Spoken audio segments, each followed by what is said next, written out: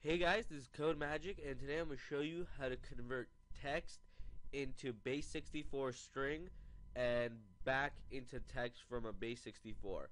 Uh, now this is useful for when you're uploading any information that if someone got it, it would be bad. So, like, let's say you have a MySQL database and you're uploading something to there uh, if you want some security on there, you should convert your uh, passwords and all that information into base 64. So to get started here, we're going to open up Visual Basic and uh, start a project. Now, we're going to add two text boxes or rich boxes, doesn't matter. Rich text boxes.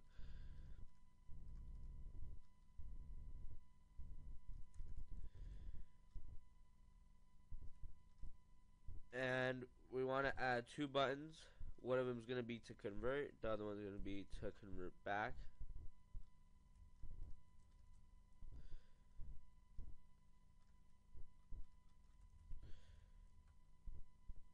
And convert back. Alright, now this is very simple coding. It's not like paragraphs long. So for your convert code, we're just going to say dim byte dim bt as byte equals system dot text dot encoding dot utf8 dot get bytes text box 1 dot text. Now textbox 2 dot text equals convert dot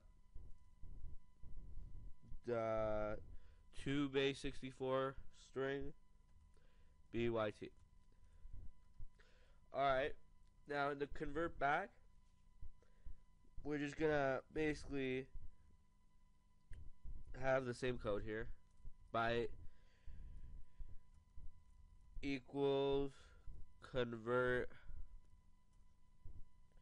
from base 64 string text box 2 dot text and text box 1 dot text equals system dot text dot encoding dot utf8 dot get string B. Now we should debug that and this should work.